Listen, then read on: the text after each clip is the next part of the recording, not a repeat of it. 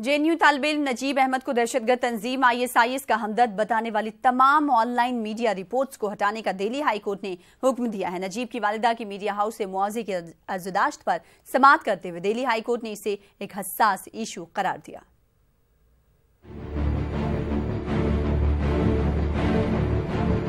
नजीब अहमद को आज भी ऑनलाइन मीडिया रिपोर्ट्स में दहशतगर्द तंजीम, आईएसआईएस का हमदर्द बताने वाली खबरें मौजूद हैं।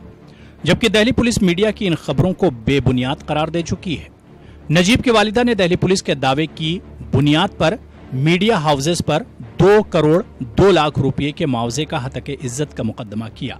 समात के दौरान दिल्ली हाईकोर्ट ने इस मामले को हसास करार देते हुए तमाम मीडिया हाउसेस को हुक्म दिया कि नजीब को आईएसआईएस का हमदर्द करार देने वाली उन तमाम खबरों को यूट्यूब समेत कई ऑनलाइन साइट से हटाने का हुक्म दिया।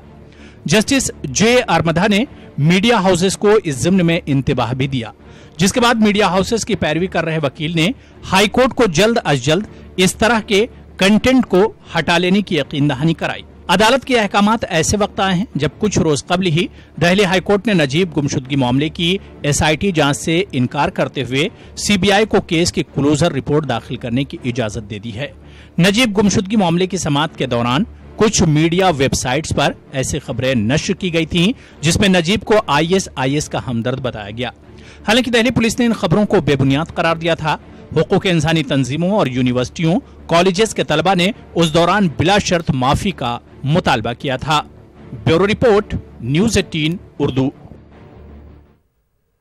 Punjab से ताल्लुक रखने वाले विक्रम सिंह मल्होत्रा की मौत सांप पकड़ने से नहीं, बल्कि सांप के साथ स्टंट करने से हुई है। विक्रम सिंह की आखिरी वीडियो सामने आने के बाद यह पता चला है। इस वीडियो में विक्रम सिंह अपने दोस्तों के साथ एक कमरे में बैठकर मुख्तलिफ़ साथियों के साथ खेल रहा था सांपों के साथ।